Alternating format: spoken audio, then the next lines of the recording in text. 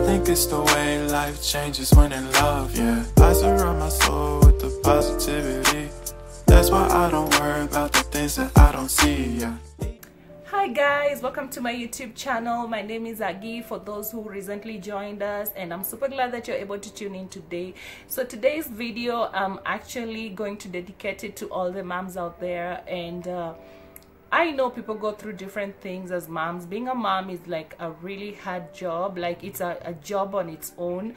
And uh, I know that everybody's experience is different, and we tend to go through different types of let me say let me just say that everybody has their own frustrations and you might think that your frustrations are really hard or that you have you're having like really bad you're you're so frustrated but you'll find out that there's someone out there who is going through a worse time than the one you're going through. So i just wanted to dedicate this video to all the moms because i know all of you are doing a great job out there and most of the time as moms you'd never get a pat on the back because everybody's like oh it's your baby. You're not supposed nobody's supposed to like congratulate you or tell you you're doing a good job because those are your kids. But sometimes you know you just need someone to just tell you like you're doing a good job especially for stay-at-home moms. Now i know everybody's experience is different. For me i have worked so i've been a working mom and i've also been a stay-at-home mom. But i would like to tell you guys that most of my life i have been a stay-at-home mom and i'm super grateful to god because let me just say like you when i hear stories of uh, of people out there who leave their kids with their nannies and horrific stories that I've had about nannies. I always thank God that I was able to take care of my kids when they were much younger because I have three kids. I have a nine year old, I have a five year old, and I have a three year old. So most of the time when they are young, I've gotten the chance to take good care of them. And I know that moms out there, like you start leaving your baby at around three months, which is so hard. And I don't even know like how you feel. Because even me when my baby was three months i was like i can't leave my baby alone during that time. Because nowadays nannies are just be, have, like i've had so many horrible stories on nannies and the things they do to kids the things the things like most of them have even left kids. When you've gone to work and you find out that your nanny left the kids alone some of them have done terrible things to kids. And so what really consoles me as a stay-at-home mom is the fact that i get to take good care of my kids. And i just want to console a mom, a mom out there who is actually going through this moment that you feel like you're frustrated you're feeling depressed. You feel like you you're you're not doing like you feel like your worth has gone down yeah? So i just wanted to encourage a mom out there. If you're going through that time it's just a passing a passing time and it will come to pass. And you should just be grateful to god that you're able to take good care of your kids and that you're creating memories for your kids. Like they will live to remember the kind of things that you're doing to them. I'm not saying this about the working mom because i know everybody's experience is different but this is just according to my own thinking. This is just my opinion. So I would like to tell you guys that uh, being a stay-at-home mom is really difficult. It's it's really tedious and sometimes you get frustrated. You can even be depressed if you don't take care uh, if you don't watch out because most of the time you're home alone like the whole day you're just alone like an, an adult of course because i've been a stay-at-home mom and there are times when i've been alone like the whole day just with the kids. Like right now they've closed school so you know you're just at home with the kids you're all alone and all you do is shout because being a mom of three boys i'm always i'm constantly shouting. Like i feel like even my neighbors they've heard my voice and some of them have never seen me. Like by the time they see me like they know that that's the woman who shouts up there.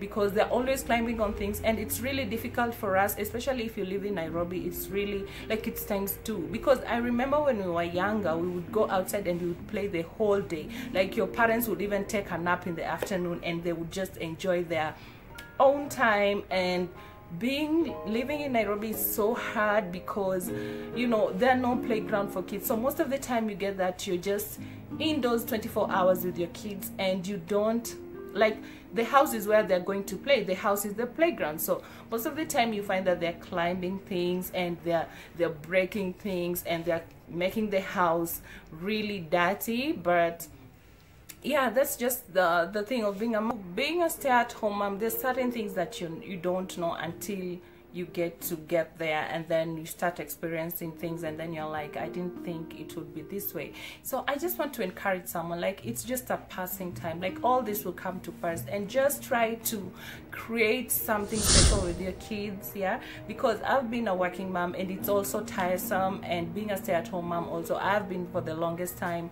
And sometimes it's really it, you get to a point that you feel like you're going into depression because most of the time you lose your friends. That is the number one thing that i didn't know about being a stay-at-home mom. You lose your friends because um, sometimes they call you for their events that you're, you're unable to go to because now that you're a stay-at-home mom you're going to be broke yeah if you don't look for probably a side hustle you're going to be broke. And sometimes your friends are going to call you to their events and you're unable to go. For example they call you to their baby shower and you have nobody to watch the kids. You have no money to go there. You and then you know how baby showers are. You need like like most of the time they put a theme something to wear.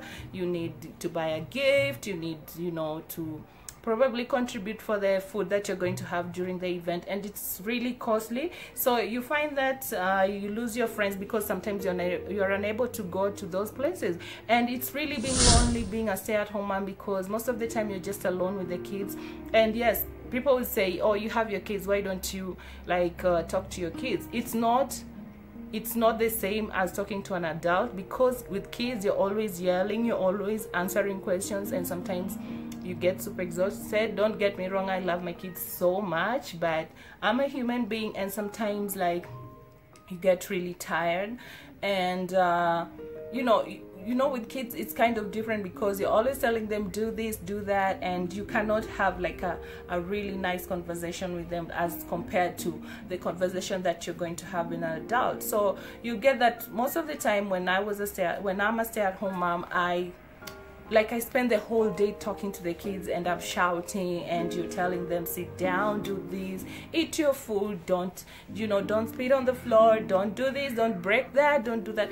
And you get that by the time it's five or it's in the evening that your husband is probably to come home. You're so exhausted and you're tired and you look like you're so sad. And sometimes he doesn't get it because probably he wasn't around during that time and he doesn't know what you went through. And um, so he feels like you don't want to talk to him but if he knew the kind of you know the kind of uh, happiness you have because he's around he wouldn't even think like that because you you really long for him to come home so that you can have at least an adult to have a conversation with. But by the time he gets home you're like so exhausted and you're tired.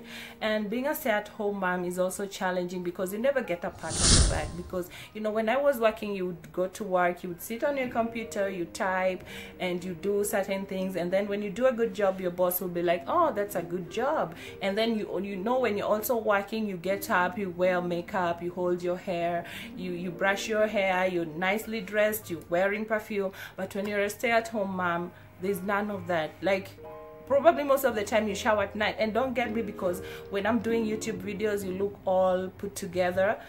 I wish you'd see me when I'm not doing all this. Like I'm always in probably a tracksuit and a t-shirt and a jeans, like and a short. Those are the kind of clothing that I feel I'm comfortable to wear when I'm in the house. So you know, when you're stay at home mom, you feel like you like your self worth has come down because you feel like you haven't achieved anything, which is totally wrong because you're taking care of your kids. I'd just like to like tell you that don't feel that way because you're taking good care of your kids and that is what you should be proud of.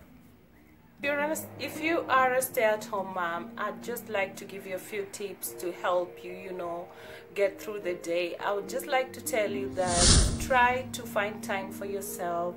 Try to find something that you do that you love. For me, I found YouTube and I it gives me like uh, something to look up to you know I, it gives me like it's like now i have a job and i feel like i have achieved something at the end of the day. And uh, also try to find something that you like. Probably on saturday or weekends try to go make your nails try to go do your hair. And if you have friends i would really suggest that you go and probably uh, sit with your girlfriends have a chat have a drink and just enjoy yourself once in a week yeah it will bring back your sanity back. And also let's throw out you know all the imaginations and the expectations we have about parenting and being a mother.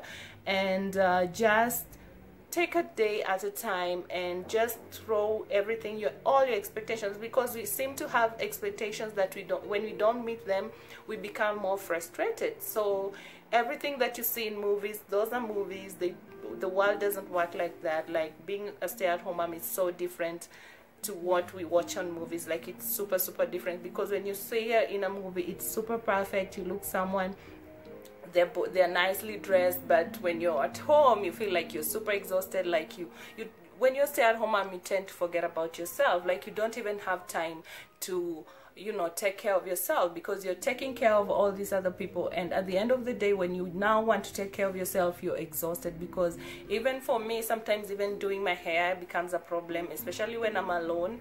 Yeah because by the time i am done you know with the chores by the time i'm done with the you know getting the kids probably to bed i am so exhausted. I cannot do anything else. So probably if you take like one day out of the seven days just for yourself i think you're able to bring your sanity back.